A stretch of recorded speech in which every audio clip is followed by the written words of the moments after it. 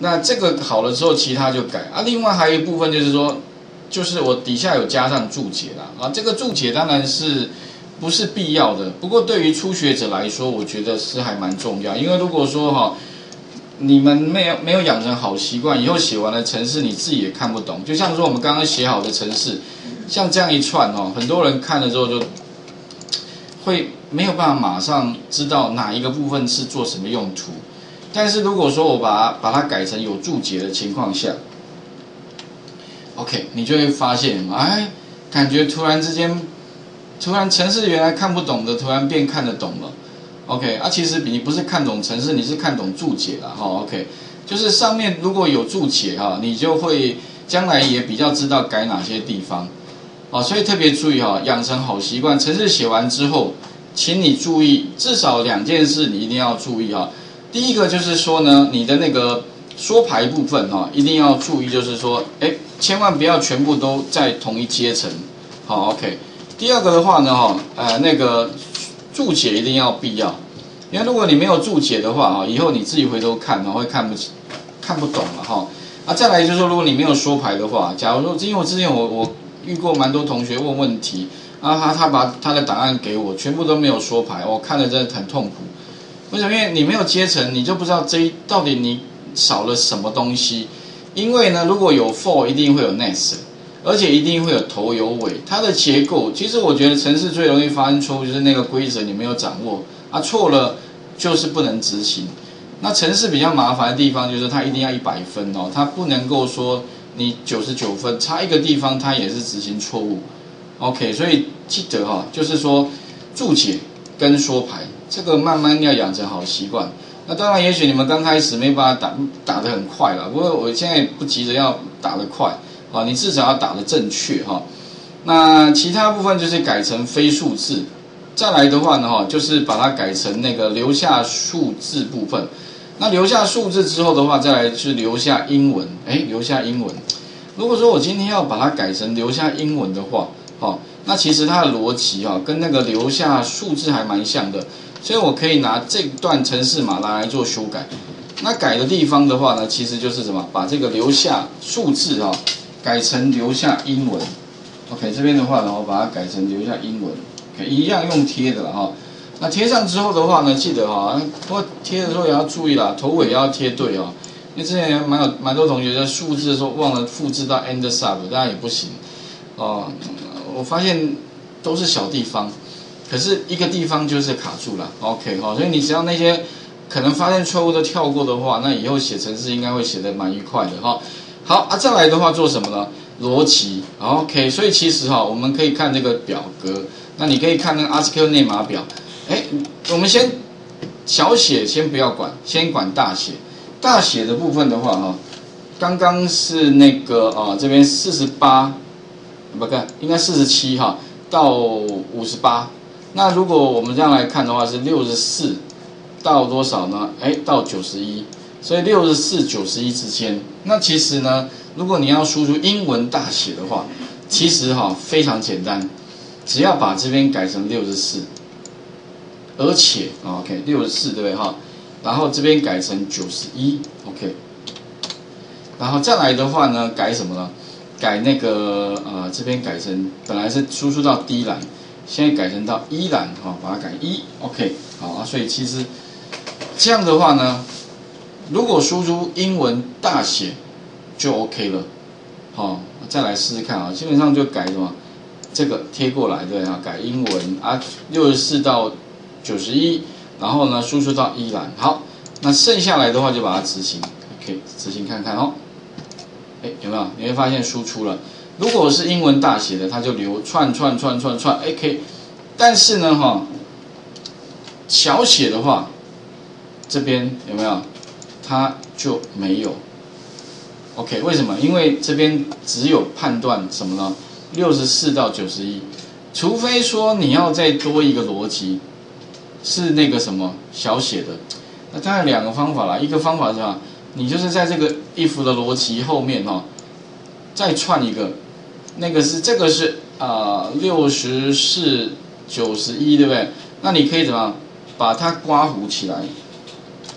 这个是一格对哈，然后呢，空一格之后，后面加个偶尔，然后再把这一段复制到后面去，然后改成什么呢？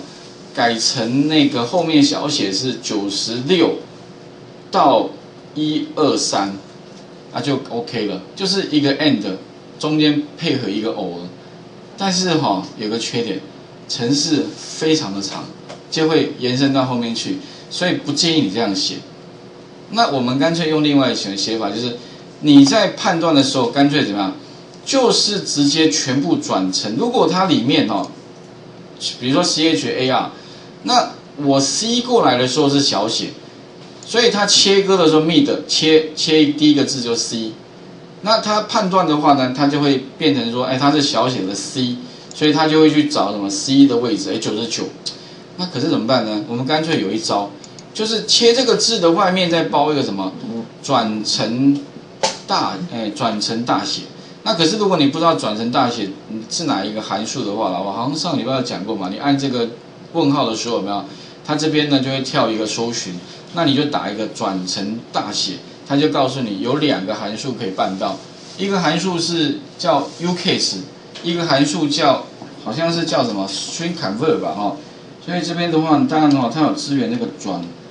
成，哦，大写，OK，好，大转成大写，OK，好，加 Enter 就出来了，有没有？ucase 跟 stringconvert 这两个都可以，但是比较一下，ucase 比较简单，为什么？因为 ucase 给它字就转了，啊，stringconvert 的话，它还有分好几好几个参，它有两个参数。所以算起来用 ucase 比较简单，哈。